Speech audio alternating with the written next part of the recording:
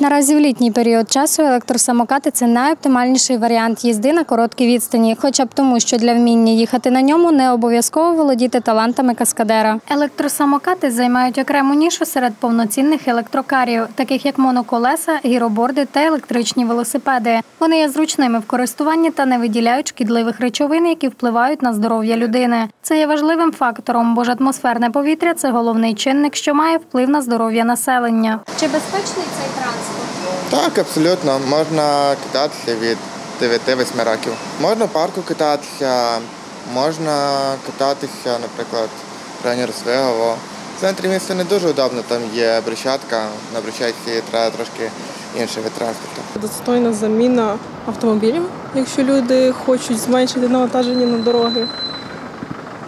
Думаю, безпечніше, ніж автомобілі, але треба такому виду автотранспорту, вибачте, транспорту дати своє, свої правила, можливо, якісь права. Кожен електросамокат можна відрегулювати на швидкість, яка вам необхідна. Та слід не забувати, що велика швидкість впливає на складність керування будь-яким видом транспорту. Також слід зазначити й про небезпеку при їзді на електросамокатах. Так як людина їде непристебнутою та без жодних захисних речей, вона є незахищеною від травм при зіткненні з іншим транспортом та несе небезпеку для пішоходів. Тож потрібно дотримуватися певних правил руху. Я вважаю, що в нетверезому стані не варто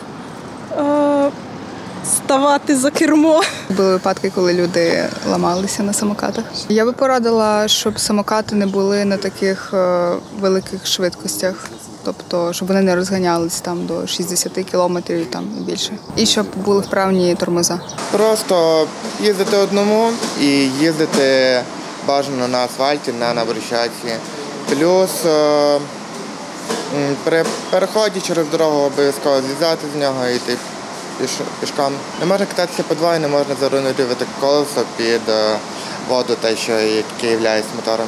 безпечним транспортом, тому що не дуже велика швидкість. Люди їм хто на ньому їздить, не вважають, що у них транспортний засіб, і більше того, вони неправильно ним керують. Ніхто їх не обучав, ніхто їм не пояснював, як це робити, і вони не вважають себе транспортним засобом, тому не соблюдають правила безпеки, які повинні соблюдати транспортні засоби. Більшість людей вважає, що такий мікротранспорт, як електросамокати, повинні їздити на спеціально відзначених велосипедних доріжках, котрих у місті Мукачево бракує, за словами містян. А так вони тільки по набережній є. Ну, можна було б зробити ще в місті. Бачив, вистачає велодоріжок? Ні, їх взагалі майже немає. Треба виділити місце фізичне, щоб е, автомобілісти, велосипедисти, пішоходи не заважали один одному.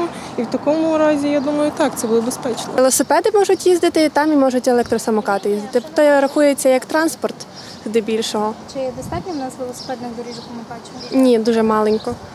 У нас е, тільки на набережних є велосипедні доріжки, на дорогах їх взагалі нема. В місті Мукачево великого попиту на електросамокати немає. Більша кількість людей відмовляється від мікротранспорту через малу кількість відведеного місця для їхньої їзди. Впровадивши продаж легкого транспорту, було б чудово ще подбати про кількість та якість доріг.